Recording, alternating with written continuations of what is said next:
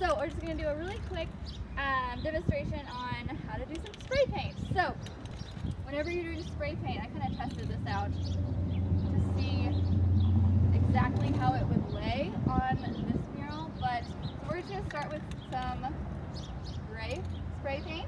And whenever you're spraying, I'm gonna do this little bit right here, so it's like a little bit of a shadow, so it just so it gives it a little bit more depth. Whenever you're spraying, you want to start up here and then spray, and then stop spraying, and then keep going.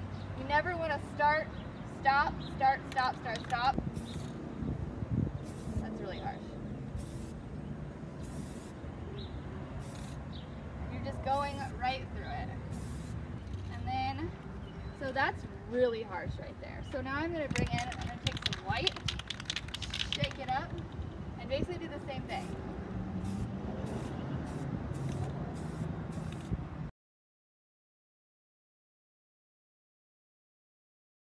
So, also with spray paint, one last thing, uh, be really careful of the wind. The wind will take it, and if you have a car parked literally right next to you, it will get on it. However, it will come off of it really, really easily if you just recognize that really quickly and just get it off. But the, the rule of thumb is just like park the cars really far away. Be careful because the wind will take it. Also, if you get it on this and you do not have this color to just paint over it, uh, get some odorless mineral spirits and just scrub, scrub, scrub and try to get it off.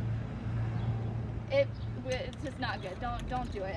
so don't don't get it over here as much as you can handle it. So just be really super careful on just getting all of the spray paint into your painting and not over here because it's just it's really hard to get off. And that's it.